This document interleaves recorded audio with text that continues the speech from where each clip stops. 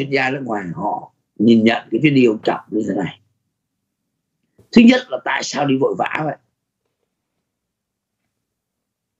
Ngay sau khi ông trọng vừa mới làm một chuyến đi vào sài gòn vào tháng 9 bắt đầu khỏe lại, đi một chuyến đi bắc kinh.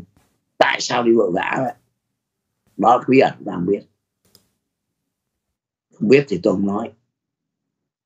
Nhưng người ta đề cập tới cái chuyện là gì?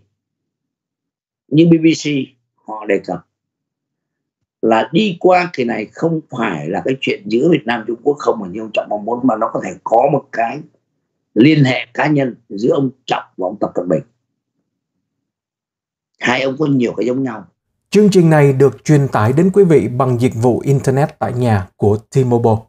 À, thì một trong những cái giống nhau hai ông có là nếu chúng ta nhìn bề ngoài đó ông Trọng bây giờ đang ở nhiệm kỳ thứ ba tổng bí thư ông Tập Cận Bình bắt đầu nhiệm kỳ thứ ba hai ông giống nhau cái chuyện đó. Nó chỉ khác nhau ở chỗ này. Ông Tập Cận Bình sửa đổi điều lệ đảng mà có từ thời ông Đặng Tiểu Bình. Là tối đa hai nhiệm kỳ thì ông Tập Cận Bình đã sửa cái đó. Để bây giờ có thể là ngồi suốt đời luôn. Ông Trọng thì không đổi không thay đổi điều lệ đảng nhưng mà thay đổi cách thực hiện điều lệ đảng. Ví dụ có những trường hợp đặc biệt. Đó, như ông cũng mở lại quá tuổi. Rồi đặc biệt của đặc biệt anh thấy không? Ông ở lại ba nhiệm kỳ. Đó, là ta thấy là hai cái giống nhau, một cái giống nhau như thế không? Nhưng mà cái giống nhau mà người ta chú ý nhiều nhất đó đó là cái vấn đề chống tham nhũng của hai ông này mình không biết là bên trong hai ông có sinh sau giết hay không, cho đến giờ phút này mình không nghe.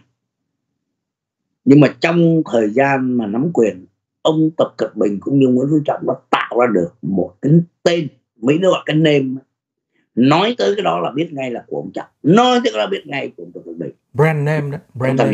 Vâng. Brand name tạo ra một brand name. Mà dân gian ai cũng biết. Ví dụ đối với ông tập cận bình là gì? Đã hổ giết rồi thấy chưa? Không những tôi đá con hổ mà giết luôn rồi tức là tham nhũng lớn nhỏ làm là làm sạch hết cái chiến dịch đào hổ diệt ruồi của ông tập cận bình trong thời gian qua là cũng mấy trăm cán bộ của trung quốc bị trừng phạt bị kỷ luật bị vào tù thậm chí bị tử hình. Còn ông trọng đó cái câu nói của trọng mà bây giờ dân gian ta nhớ là gì? Mà anh vẫn gọi là gì? Chủ lò đúng không? Chủ đốt lò. Vâng. Ở đâu ra có câu đó lò đã nóng lên rồi củi tươi cũng phải cháy những câu rất là dân gian, nhưng mà nó phù hợp những gì ông làm, nó đi vào lòng người. Anh thấy không? Bây giờ nói đến đốt lò là hiểu ngay là của ai rồi. Hai ông tạo được hai cái brand name. Anh thấy chưa? Nhất là hôm qua ta đề cập những gì ông phát biểu tại Hà Nội ngày 15 tháng 10 gặp cử tri rồi đó. Những vụ đã cũ, đã lâu, vẫn có thể bị đưa ra. Và nó làm không được thì anh tự nghỉ hoặc anh tự xử tôi nói thiệt với anh đó, anh nào mà rụt rịch mà khó là anh ngồi đun ngay. Đó là cái điểm thứ hai hai ông giống nhau và tôi nói anh nghe là mới đây tờ Washington Post, cũng một tờ báo lớn của Mỹ, ngày 20 tháng 10 tới mới đây, liệt kê một số cái thành tích chống tham nhũng của ông Trọng đây nhá, tôi đọc sơ qua để của bà con mình hiểu và mà nghe này.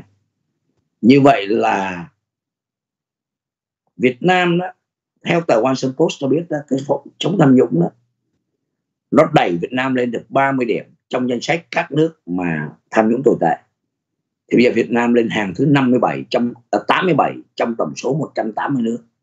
Tất nhiên cái này là không chính xác mà nó là cái ranking của các tổ chức mà chống tham nhũng. Ở Việt Nam lên được 30 hàng nhưng vẫn còn khá thấp một 87 trên 180 đó là mở cửa lưng chừng mà. Đó là cái nhất. Rồi, ví dụ như nhá. Ông trọng có lập được cái tám cái nhóm mà đi chống tham nhũng. Và trong cái đợt vừa rồi, những cái người mà coi như chống tham nhũng tổng cộng nhá, là coi như có 297 trường hợp, điều tra 297 trường hợp, chống lại 682 cá nhân bị tố cáo hối lộ và thu về hơn 9.000 tỷ đồng tương đương khoảng 370 triệu đô la. Đó là theo tờ Washington Post họ nói. Không?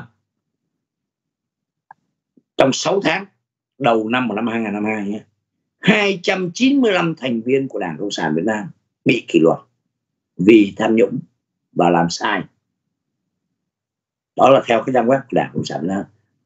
Rồi tháng 10 là năm nay nhé ngày 7 tháng 10 bắt cái vụ bà Trương Mỹ Lan, chủ tịch tập đoàn Vạn Thịnh Phát họ cũng đề cập trong đây luôn. Đây là vụ lớn và dính dáng lên ngân hàng SCB bây giờ ngân hàng này là do bốn cái tập đoàn khác đang điều hành. Đó. Rồi tháng 6 là bắt ông Chu Ngọc Anh chủ tịch Hà Nội, ông Nguyễn Thanh Long, bộ trưởng y tế, chính phủ Việt Á. Và sau này thêm ông Nguyễn Xuân Thăng, bí thư Hải Dương. Thấy không? Tổng cộng trong vụ đá Á này là bây giờ là 89 cá nhân. 89 cá nhân đã bị liên quan bị bắt nhiều lắm họ kể đi nhiều lắm. Những cái vụ uh, Tân Hoàng Minh Trịnh Văn Quyết vân vân vân vân. Đó. Thì thưa anh nó có cái điểm giống ở chỗ này. Nữa giữa hai ông anh để ý nha. Trong đây cũng nhắc vụ đinh la thăng luôn. Anh tưởng tượng ờ, từ trước kia trong thời gian ở đây có tổng bí thư nào mà cho một ông gọi là ủy viên bộ chính trị vào lò mà ở tù luôn, cho đi tù nha. Đó là trường hợp đinh đan hằng. Một ủy viên bộ chính trị đương nhiệm, đương chức thì bắt cho tù. Trong cái bên Trung Quốc, ông Chu Vĩnh Khang từng là ủy viên ban thường vụ bộ chính trị là một trong bảy người quyền lực nhất Trung Quốc và là cựu bộ trưởng bộ công an cho vào tù luôn vì tội tham nhũng gái gú đủ thứ hết. Thế à nên nhớ bên Việt Nam đó là vô bộ chính trị là coi như là quyền lực trên thứ thiệt. Bên Trung Quốc bộ chính trị vẫn còn sau ủy ban thường vụ chính trị nó có 7 người thôi. Mà vừa rồi ông, ông Tập Cận Bình chỉ làm hôm 21 tháng 10 vừa rồi đó.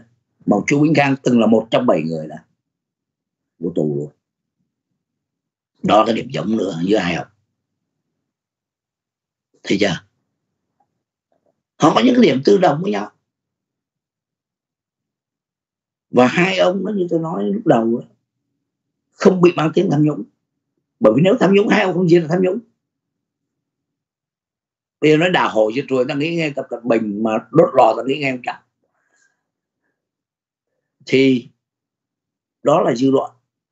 Họ nói, thêm một cái dư luận nữa mà này trong nước họ lo ngại, mà tôi đọc được trong những ngày qua, là hai ông này chống tham nhũng đến bao giờ? Nếu mà ông chết đi thì ai chống?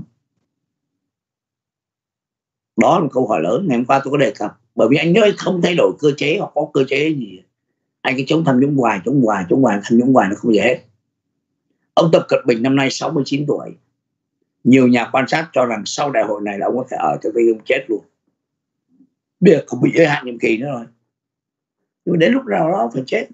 Thì tôi với ông sẽ kiếm người thay thế như nào mình cũng được phụ đó. Ông trọng năm nay đã 78 rồi. Và tôi nói anh biết luôn, ông trọng có thể ở cho đến khi ông chết luôn. Tiếp tục làm tổng bí thư. Và với tình trạng sức khỏe như này, và với tình trạng chống tham nhũng như vậy, có thể ông sẽ ở thêm nhiệm kỳ thứ tư nữa và cả yếu tố là chưa kiếm được người kế thừa. Đúng vậy. Và ông không tin ai luôn. Mà anh thấy trong thời gian qua đánh liên tục đốt liên tục liên tục và liên tục. Vừa rồi hôm qua tôi kể anh là ba ủy viên trung ương ra đúng không? Một ông là bí thư ban cán sự đảng một ông là chủ tịch huyện Hà lâm và ông là cựu chủ tịch ờ, ủy ban nhân thành phố sài gòn. Sau đó tiếp thêm ông uh, phùng nhạ. Cứ liên tục liên tục như vậy. Ngày hôm nay đó tôi vừa đọc tin nước là công an đang yêu cầu các cái gọi là bộ bộ bộ thông tin truyền thông yêu cầu các cái nhà nghỉ ở Hà Nội đó trong vòng 24 tiếng là phải nộp cái vụ mà giải cứu con tin đó. Danh sách hồ sơ những người là phải nộp trong vòng 24 tiếng. Đánh đang đánh cái vụ mà uh, giải cứu con tiện ờ, công dân. Đánh liên tục. Thành ra ông trọng và ông tập cận bình đó, là bây giờ được người dân người ta ủng hộ đó là cái điểm đặc biệt hoàng này. Và các chuyên gia họ đều thấy rằng là gì? Mặc dù Việt Nam và Trung Quốc có những cái xung đột ngấm ngầm bằng mặt và không bằng lòng nhưng mà cái điểm duy nhất là hai cái đảng cộng sản vẫn coi như nhau như nhau ờ, và nó có sự liên hệ giống nhau với ông Tập Cận Bình và Nguyễn Phú Trọng. Cả về công việc hai ông làm cả về cá nhân nó nó ná giống nhau. Thì người ta nghĩ ông Tập Cận Bình và ông Trọng sẽ có thể làm tổng bí thư cho đến khi họ không thể làm được nữa. Để họ tiếp tục đốt lò, tiếp tục đà hồ nhiệt phổi. Bởi vì tôi nói nó không thay đổi cơ chế, sẽ sẽ còn hoài. Mà nhất là ông trọng còn tuyên bố là những vụ xa xưa lâu lắc rồi lôi ra mặt xử luôn. Ra xử hoài xử hoài. Rồi sau chuyến đi này, cái uy tín cũng lại càng được tăng lên nữa. Bây giờ ông trọng giống là hung thần, tham nhũng người ta và bắt đầu có nhiều người ta lo ngại là, ủa, thế rồi ông nay mai ông chết, ai làm cái chuyện đó? Đó là câu hỏi lớn. Ông tập cận bình thì năm nay mới 69 ông có thể sống lâu hơn. Ông trọng năm nay 78 coi như ông trọng hơn tập cận bình gần 10 tuổi. Chưa kể là ông trọng hôm nọ bị tai biến nữa. Mặc dù ông khỏe lại, nhưng mà chuyện nó không bảo đảm. Bởi vì sức khỏe của lãnh đạo Việt Nam là bí mật, không ai biết. Nhưng mà chỉ nhìn thì mình biết ngay là có thể bất kỳ lúc nào. Cái đó là cái người ta đang lo. Bởi vì trọng tham muốn nhúng vào Việt Nam bây giờ, ông trọng đánh vẫn chưa hết. Nguyên một thời đại mà của đồng chí X. Nó biết bao nhiêu vụ tờ quan support liệt kê nhiều lắm. Tôi không muốn dài dòng cái vị nó nhiều vụ đó họ kể. Rất là nhiều và một cái lý do nữa mà tờ Washington Post nói là ông Trọng và tiếp tục đánh tham nhũng là bởi vì sao? Các nhà đầu tư người ta đang coi là ông Trọng đánh tới đâu? Đánh thật hay không có đánh nửa vời? Đánh nửa vời họ không dám đầu tư luôn như tôi nói hồi nãy đó, Trung Quốc, Mỹ và càng xung đột bao nhiêu, các nhà đầu tư càng chuyển hướng sang Việt Nam bấy nhiêu hôm trước tôi anh cũng phân tích chuyện đó đó là sự thật. Họ không cần biết chế độ gì này kia không biết. Anh ổn định anh không tham nhũng là tôi đổ tiền vô tôi có lời.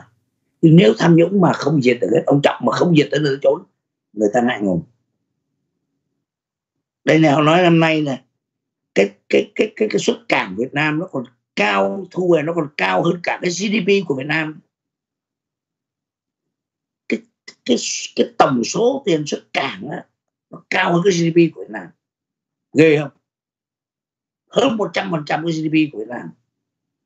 Mà nếu bây giờ công cuộc chống tham nhũng công trọng mà không tiếp tục nữa hoặc nửa vời tôi nói là tiêu. Đó thì ông trọng ông đi Trung Quốc tập cận bình nó có những cái là na giống nhau. Nó làm cho người ta nhớ à hai này là hai anh đang đánh tham nhũng. Và một lần nữa rồi nhắc lại đánh tới đâu? Đánh có thật hay không bây giờ ông trọng đang đánh thật, người ta ok mà ta lo ngại.